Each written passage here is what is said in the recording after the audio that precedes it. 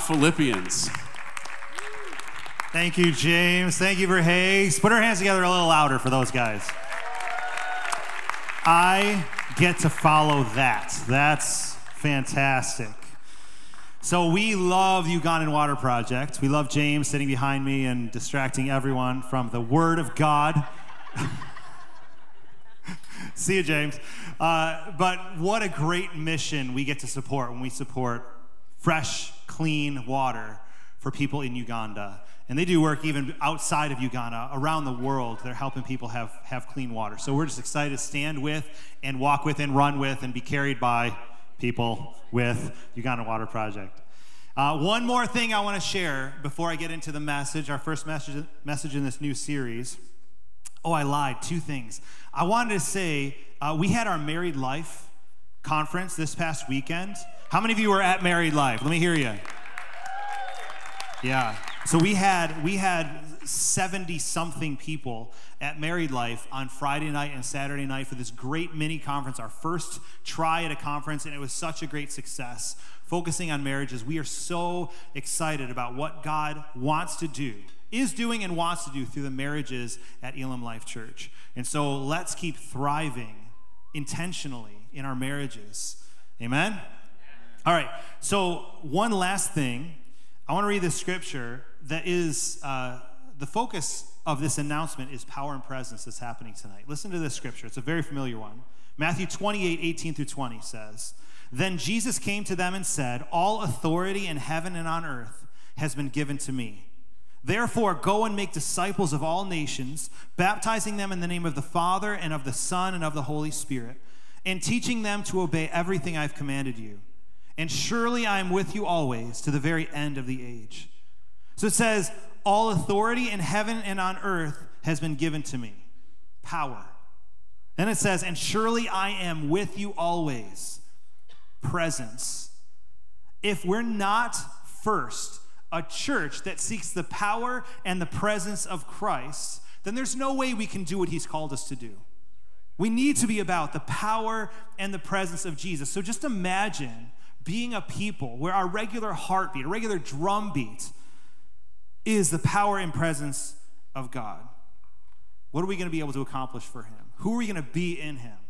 So that's why every month, first Sunday of the month, we have our power and presence service. It's a chance for us to, to dive in even deeper into God, into Jesus, into the Holy Spirit. So that's happening tonight, 6:30 to 8, in the youth room. You can come early at 6 o'clock if you want to be here for pre-service prayer. But let's be a people that is passionate about the power and presence of God. Amen? Amen. All right. So we're getting into our new series Philippians, one of my favorite books in the Bible. Hopefully, it's one of yours. If not, it will be after this series. And as we get started, I want to I want to talk about something. I want to talk about something that's not fun for me. What's not fun for me is losing. Anybody else? Losing is not fun. I am very, very good at it, though. I'm very good at losing. Um, not that I enjoy losing. Like I said, I don't enjoy losing. Um, and not that I, I am always the best sport when I lose, but I'm very practiced at losing. I've done it a lot throughout my life to this very day. Uh, maybe not like today. Today is still early today. I'm still sure I'll, I will lose at something today. But I think you get what I'm, what I'm talking about. I lose. Does anybody else lose? Okay, most, some of us in the room, we lose. Well, when I was a freshman in high school, I ran track. And I was, like the Verhages, very fast. I was little, and I was one of the, I was definitely the littlest guy in my class growing up, but I was the fastest guy for much of my elementary school career. And then when I got to high school, I got into track, and I realized that though my body grew, my fastness did not grow. And so I wasn't very fast when I was in track. And I realized as I'm, as I'm on the track team, I don't even like to run. What am I doing? And so, second year, I switched from track to tennis. And in my second year playing tennis, that's where I got really, really good at not winning. so, so here's the thing I was okay. I was an okay tennis player, but my team was terrible. So, what happens when you put an okay player on a terrible team. Oftentimes, the okay player has to play the best player from all of the other teams. Are you starting to get the picture here? This, this is what happened. And I lost match after match after match. I lost. I'd have fun in practices, but then I'd lose and I'd lose and I'd lose when we played any other team until the day I didn't lose because the other guy was injured. if he wasn't injured, I would have lost again. For sure. I went through an entire season of JV tennis, an entire season. I lost every single match except for one that I won by medical forfeit. I am very, very good at losing. Is anybody, uh, no, don't raise your hand if you're that good at losing. None of us likes to lose. We don't like to lose. Even if you're somebody who's you're sitting here, you're online, you're watching this, and you're like, I don't have a competitive bone in my body. You still don't like to lose, to finish last, to be picked last. Like no one enjoys that. So today, guess what we're talking about? Winning. We are talking about winning, everyone. That's what the message today is about. We are going to learn how not to lose as we start our new series through the book of Philippians. Today, we're going to start by learning a little bit about the book itself, and then we're going to dive into chapter one. Everybody say, winning. winning. All right, so we're going to start with an intro to Philippians. I'm going to give you some details here. Some of the details you might know about this letter that's written in the, in the New Testament, some you might not know as we as we get into this book, we're going to be studying this book for four weeks. So I wanted this week to give you some context so that you could have better boxes in your brain for storing the information you're going to learn. So, like, where does this fit? Why did the author say that? What makes this verse especially meaningful? I now know because I now have the box in my brain. I have the context for where this thing fits, where to put this information. So here we go. The, the author of the book of Philippians is the Apostle Paul. This is the guy who is persecuting at the beginning of the church. He's persecuting anyone and everyone who's a member of the church, any and every Christian he could get his hands on. And he was on the road to Damascus when he encountered Jesus, the one he found out he was persecuting. And that moment was a shift in his, in his perspective, a shift in his life. He became just like the ones he was wanting to punish. He became a Christian too. And when that happened, after that transformation that he went through because he met Jesus, he went on at least three minute, uh, missionary trips. So, three trips we read about in the Word of God. Three missionary trips that lasted a total of seven to 10 years. So, his second trip was about two and a half to three years long. And it was on this trip, you can read about this in the book of Acts. It was on his second missionary trip that he had this vision. He was planning on going one direction. He had a vision of a man from Macedonia saying, Come and help us. Come to us and help. And so he received that as the word of the Lord and he shifted his, his direction. And that was the, the detour he was on when he went to Philippi, the city of Philippi, which is in Greece. So I want you to see the Google Maps view of where Philippi is located. You check it out right there in Greece. And here's what the city might have looked like, might have looked like according to one rendering. So check this out. You can have this in your mind. This is the spot where Paul was was uh, preaching in Philippi, and this is the spot where the people from Philippi were when they read his letter that we're going to be reading this series. This is how Philippi looks today.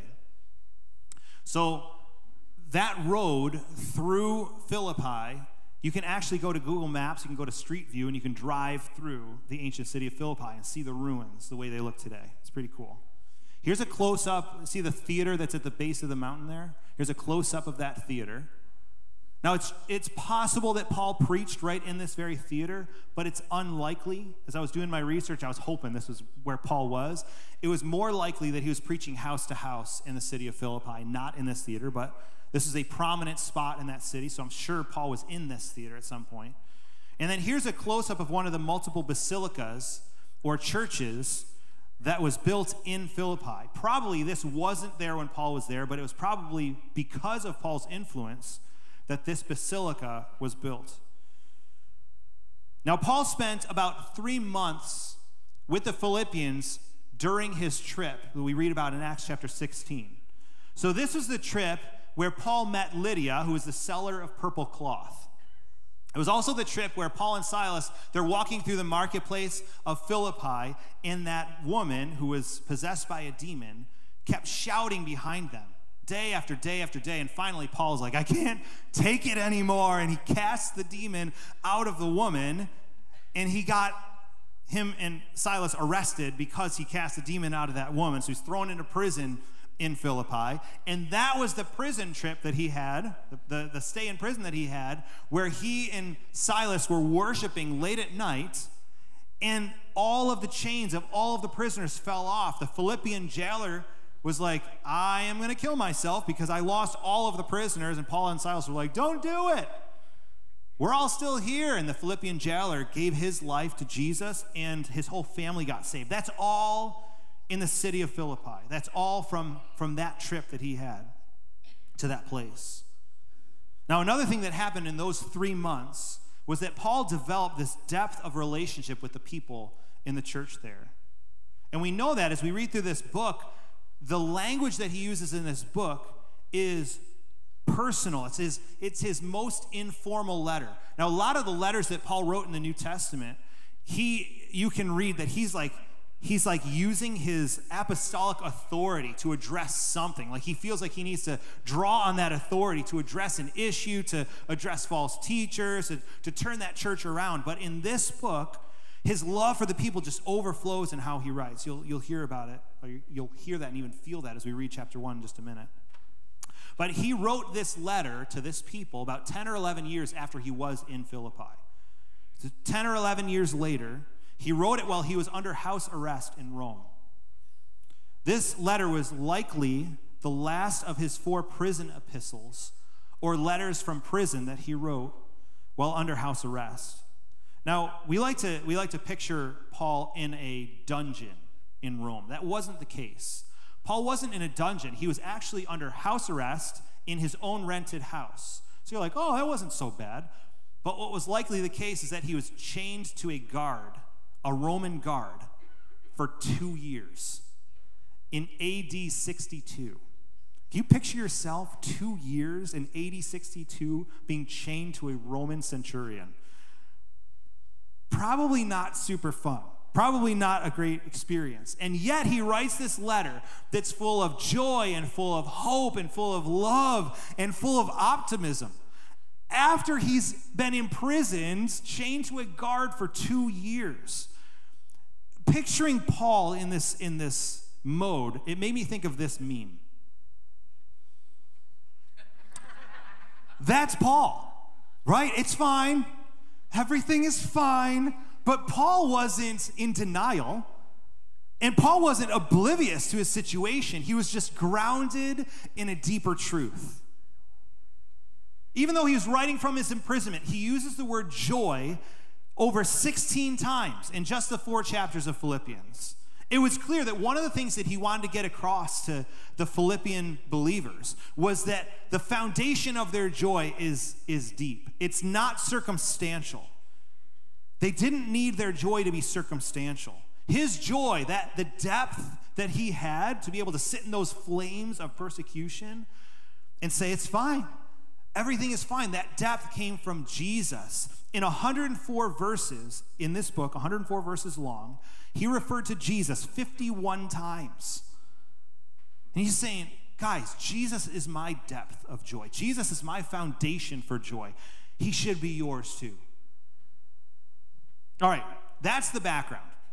Now we know who wrote it. We can, we can imagine the people that he was ministering to as he, as he wrote this letter. We can even picture the place that he wrote it to, okay? When we were praying about this series, we thought it would be a great idea, even though we're not going to be preaching on every single verse through the book, it'd be a great idea for us to read through the book together.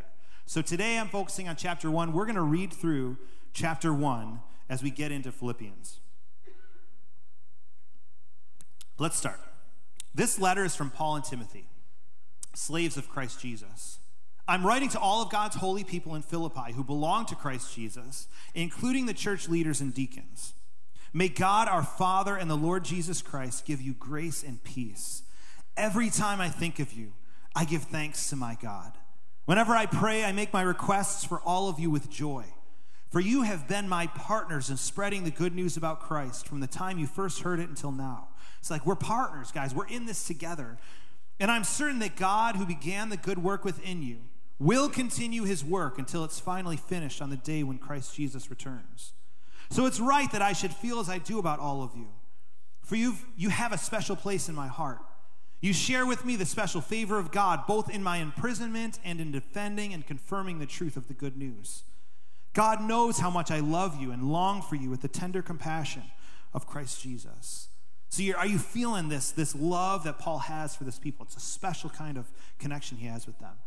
Now, this next part that he's speaking, he says that he has a prayer for them. And this is my prayer for us too.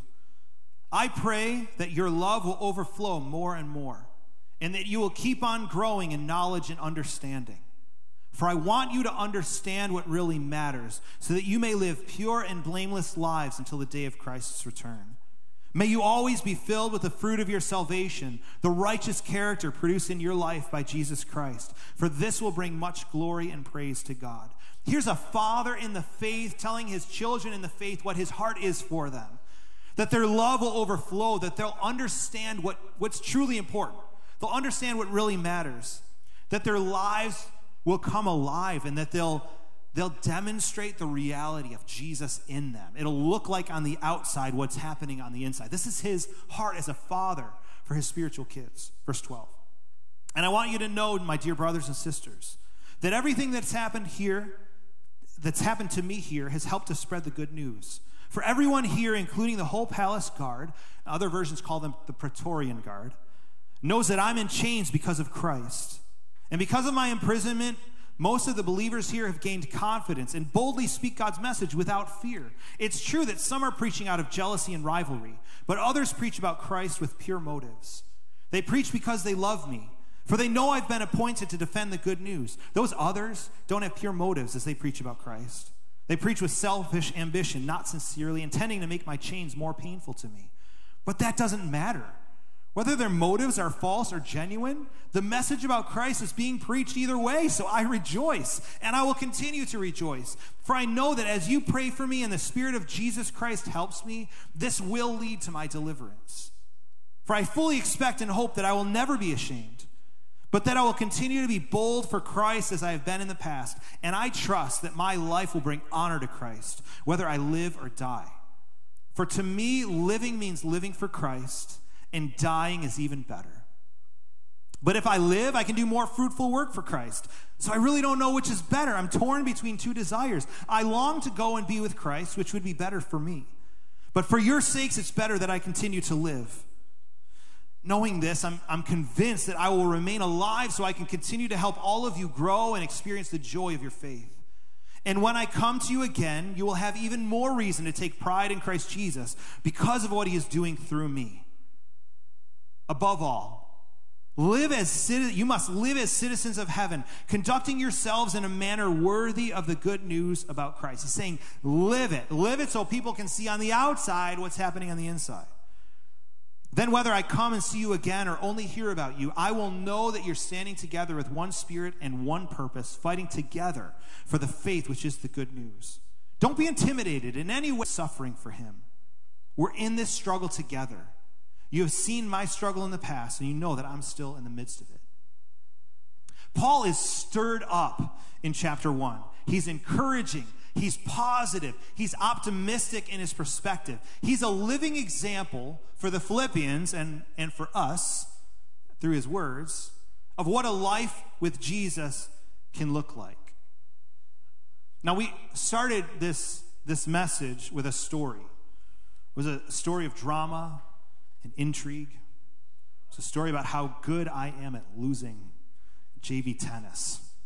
But we ended the story hearing about how this isn't a message about losing, this is a message about winning. None of us likes to lose, it's about winning.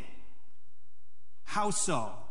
Well, this week I was reading this chapter over and over and over again, preparing to speak with you about it this morning. And I was asking the Holy Spirit to reveal what is his heart. I asked him, God, what is your God thought that you want me to really wrap my mind and my heart around so that I can communicate it effectively to church? This is the main thing he showed me through Philippians 1. No matter what, we win. I want you to say that after me. Say, no matter what, we win. Here's Paul. I'm going to read another, another little chunk of scripture from Second Corinthians. This is Paul explaining to the Corinthian church what he had been through. He wrote this before he wrote Philippians, so we know he'd already been through this when he wrote what we read today.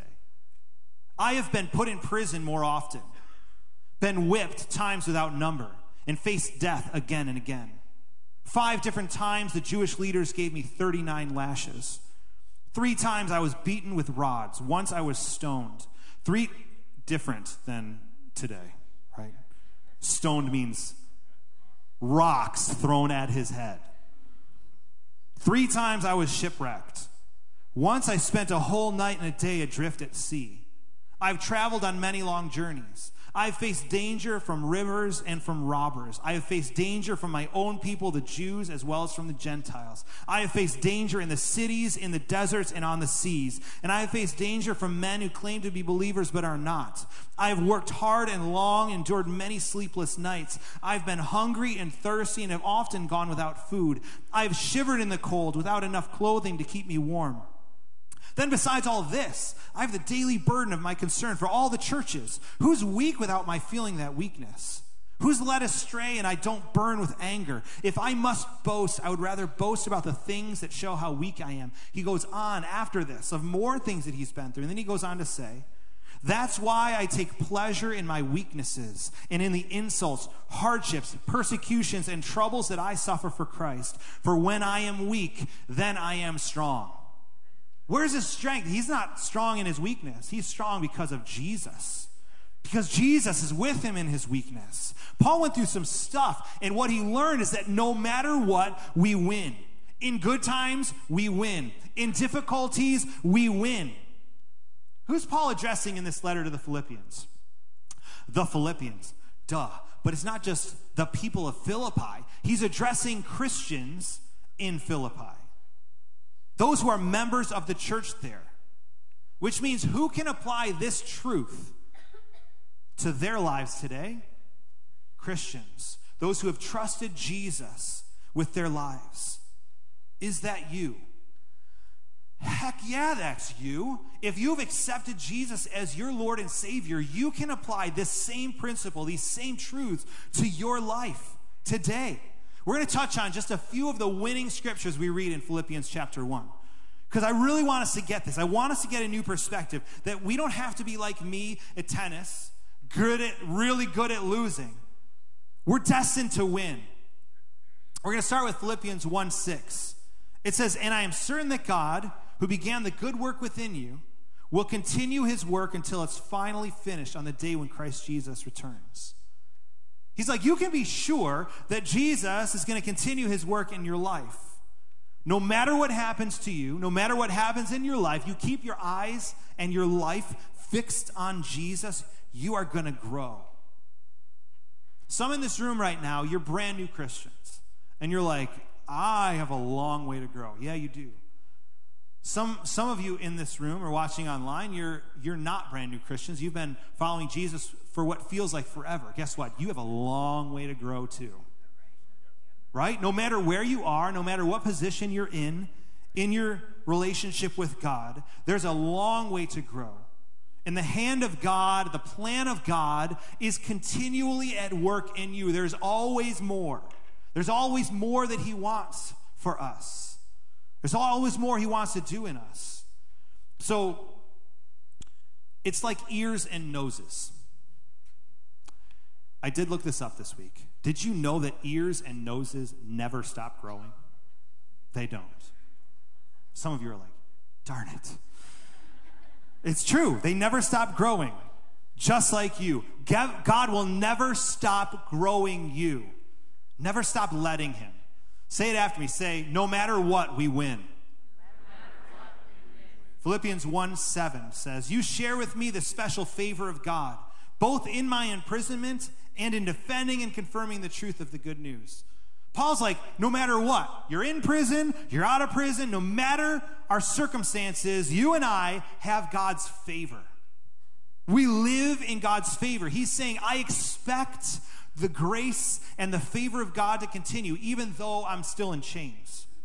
I have peace. I have confidence. I have assurance that God's presence and power is with me no matter what I'm experiencing. And I'm expecting that you will have the same. We have Christian brothers and sisters all over the planet right now who are being persecuted for their faith. And we're starting to see it more and more in America as well. We're starting to see the perspective of of politicians and famous people speaking against the truth that we know in the Word of God, that we know through Christ. And I mean, there's a, obviously a good chance that that trend will continue. Who knows what we're going to face as the church in America in the months and years to come? But you know what? We have special grace. We have special favor from God, grace from God in every situation that we face, no matter what we face, just like Paul is saying, imprisonment and in defending, confirming the gospel, no matter what situation I'm in, I win. I have the special grace of God. Same thing with us. We can grab hold of that truth and say, no matter what, we win. Philippians 1:12. And I want you to know, my dear brothers and sisters, that everything that has happened to me here has helped to spread the good news. Everything. Paul's like, my imprisonment is helping this thing go forward. The guards are hearing the gospel. Imagine being the guard chained to Paul. If you didn't get, if he didn't get saved, dude, dude, it was hard-hearted, right? Wow, the believers, he's saying the believers in this city are growing in boldness because of my example. Even people who are trying to harm me by sharing the good news of Jesus with bad motives are still progressing the gospel. He's like, this thing can't be stopped no matter what. It's the opportunity for the good news of Jesus to be shared, for the love and forgiveness of Jesus to be spread, which is such a great perspective for us. No matter what happens in our lives, good or bad, God gives us the opportunity to experience His love, His grace, His mercy, and to overflow it onto those around us. What's the mission of our church, of Elim Life Church? It's to experience the love of Jesus and give it away. To experience his love and exude it onto others. Sometimes exuding isn't a fun process, right? Like when you're driving down the, down the road and somebody's tailgating you, or you get rear ended, you want to exude something, but it sure ain't Jesus that you want to exude in that morning, in that moment. But why not it be Jesus? Take that in for a moment. Why not it be Jesus? Why not in those moments of where we feel like the darkness coming over us? Ah! Why not instead it be Jesus? Do you know that's possible? You know that's part of the growth that God wants to do in you? And in me. That it's less and less me and my pride, and less and less me and my frustration and my anger and all the other stuff that's happening in my life working its way into my character and into my expressions to people. See, that's one of the things that he wants to do is work that stuff out and work himself in. That's part of the ears and noses thing. That's part of us always growing. Why not let it be Jesus? We've got this because we've got him.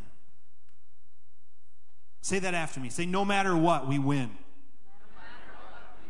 Now, here's one more scripture from Philippians 1. This is a big one. This is the big one. Ready? Philippians 1:21. For to me, living means living for Christ, and dying is even better. Like, you're in church and you hear that and you're like, yeah? Well, duh, that's, yeah. Can you imagine being not a Christian and hearing that? Humanist or whatever, hearing to live is Christ and to die is gain, and they're thinking, what the heck are they teaching in that Bible? What the heck are they talking about in that church? This is Paul not being ridiculous. This is Paul being confident in what we're talking about this morning. No matter what, we win. We can't lose. Are you in Christ? Are you a believer? You can't lose.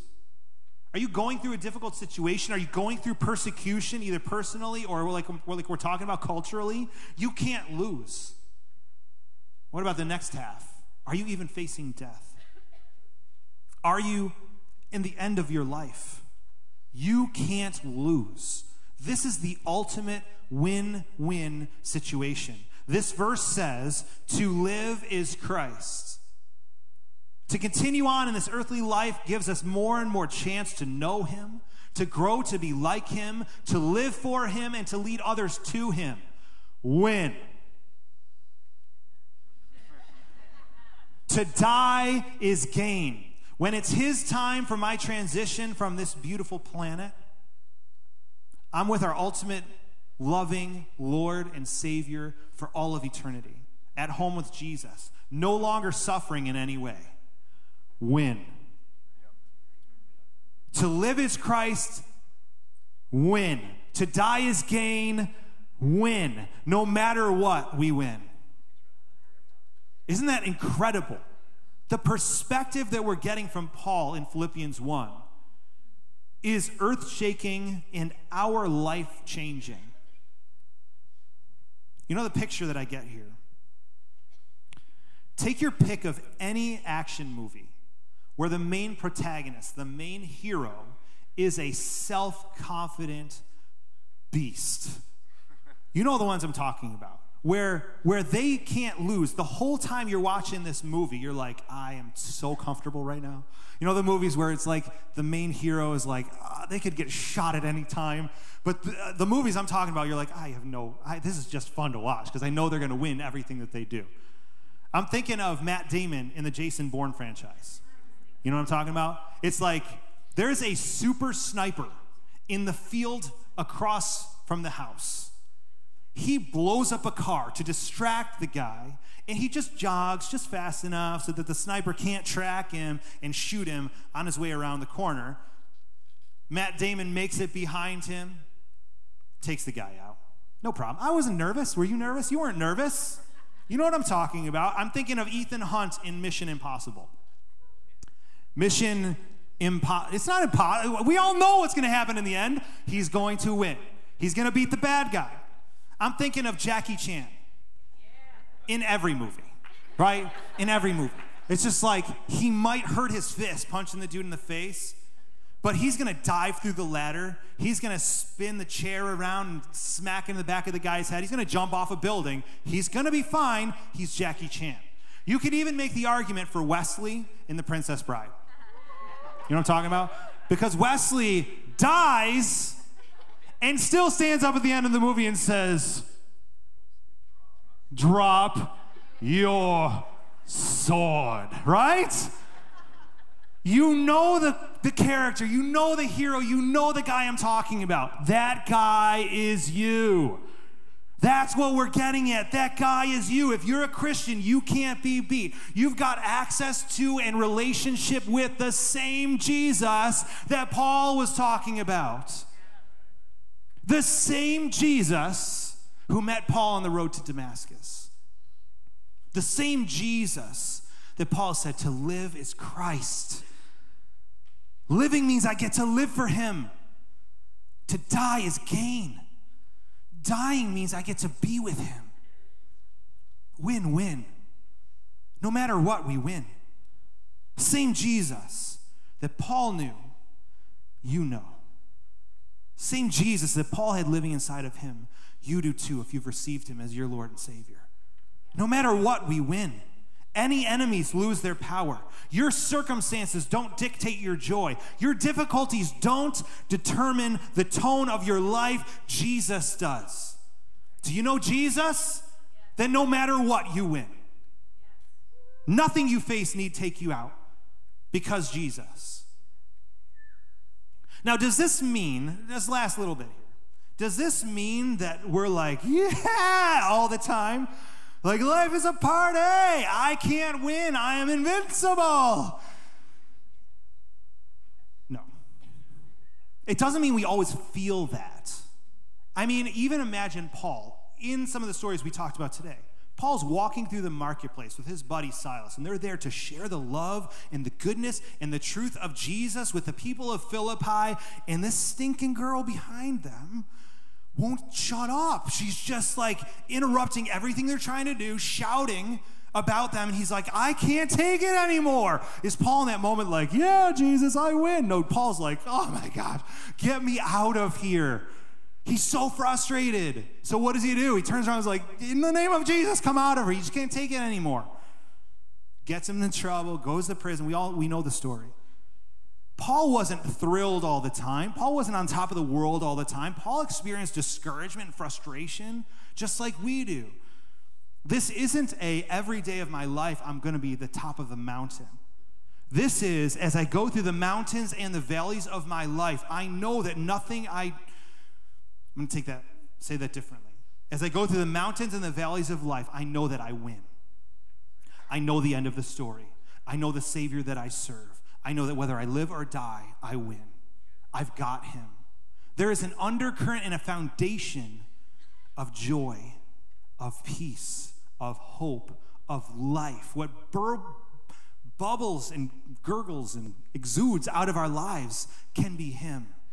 It doesn't have to be all the junk no matter what, we win. I want to invite you to, uh, to stand to your feet with me. Coming to a close here. Now, I think it was pretty clear from, from the message that the only way we can say that phrase is if we know Jesus. The only way we can say, no matter what, I win, is if we know Jesus. And I'm imagining there's people in this room right now, and I'm imagining there's people watching online. And you're saying, I don't know Jesus yet. Maybe you're not saying yet, yet. Maybe you're not even at that point. You don't know Jesus.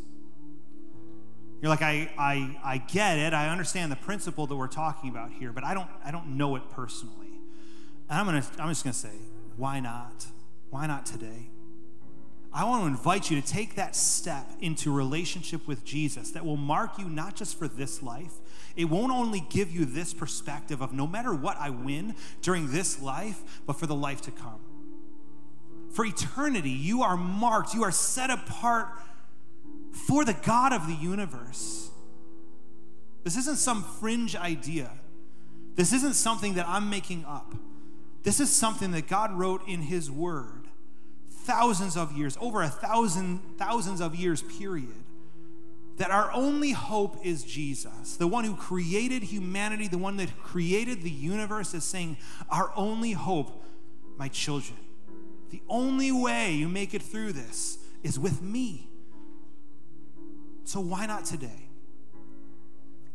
It's actually a very simple thing. I remember how do I how do I tell somebody about Jesus? How do I tell somebody about how to be saved to be a Christian? I remember this with the ABCs. I might have shared this with you before. The ABCs. A, admit that you're a sinner. Admit you're a sinner. It's, it's coming to that revelation, that realization, acknowledging, I am not perfect. Probably not that difficult to realize I'm not perfect. I know that I don't follow God, God's will for my life, God's purpose. I don't follow Him perfectly. I mess up. I admit that I'm a sinner. A. B. Believe that Jesus is God, the way it says in the Word of God, and that He died on the cross to forgive you of your sins. Believe that Jesus is God. He died on the cross to forgive you of your sins. That's the B. And the C is confess your sins to Him. And as you confess, you're saying, No, I don't want that anymore. I confess these as sin, Lord. I'm turning from those. And the other part of C is choose to give Him the control of your life. A, admit you're a sinner. B, believe Jesus is God and that He died on the cross to forgive you of your sins. C, confess your sins to Him and choose to give Him the control of your life. A, B, C. Why not take that step today?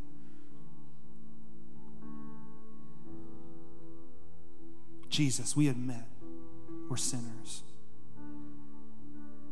We mess up. We don't do the right thing all the time, Lord, and sometimes we actively do the wrong thing. Forgive us. We believe that you are God. Jesus, that you came to earth, you lived a perfect, sinless human life, and you gave your life up for us on the cross at Calvary. But you didn't stay dead. You rose from the dead, conquering sin, conquering death. I believe, Lord. And I confess my sins to you, Lord. I give you all of the particulars, all the details that I can think of, Lord. I, I confess them to you and say, I'm turning from those things and I'm choosing to give you the control of my life. Would you come into my life? Would you help me? Forgive me, save me, set me free. I want to live my life for you. Jesus' name. If you made that decision just now, you prayed that prayer for the first time, or you rededicated your life after a time away, I want to say, congratulations. That is the biggest decision that you could ever make in your life. And you can now say, no matter what, I win. Because Jesus has got me. In life and in death, He's got me if you made that decision, in a few minutes, I'm going to invite you to come to the front as I'm inviting other people. It's not going to be singling you out in any way, but to come to the front and receive prayer so we can stand with you and walk with you as hopefully your church family. Now, everybody else who's already made that decision to follow Jesus, you might need a shift in perspective. I just want to invite everybody's eyes to be closed. And if you're willing to raise your hands to the Lord, it's a, it's a position of surrender. It's a position of, of welcoming whatever He wants to give you, whatever He wants to do in you. I just want to encourage you to hold those hands up to the Lord. You might need a shift in perspective from pessimism to optimism.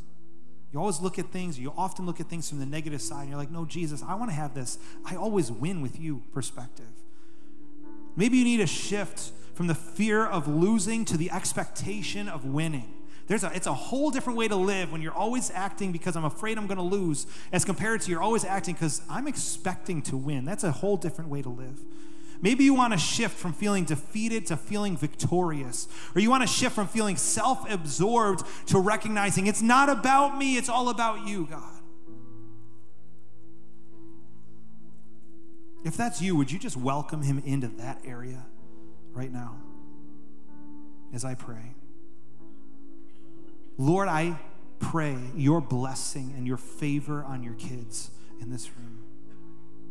I pray for a new perspective, a new understanding of who you are and who they are in you, Lord. Having a shift of this perspective can change so much, can change everything in our lives, Lord. If we realize, we really deep down realize no matter what, I win. Lord, let your joy flood your people and your peace and your love and your hope and your optimism, just like we saw it flowing out of Paul, two years into an imprisonment, chained to a Roman guard, not free. And yet he was so free. Lord, I pray for a new perspective for your church. I pray for a new joy and a new peace and a new hope and a new life. In Jesus' name, amen. Man, God is good. All the time. God didn't, God didn't invite us to lose, He invited us to win. We win in Him. Amen. Amen. Lord, bless them as they go in Jesus' name. I hope to see you tonight at Power and Presence. Let's go in the confidence and joy of Jesus this morning. If you need prayer for anything, I want to invite you to come up, receive prayer. Our ministry teams are coming up in just a moment. Let's pray and let's believe in God is going to shift in us whatever he wants to. Love you guys. See you next week. God bless.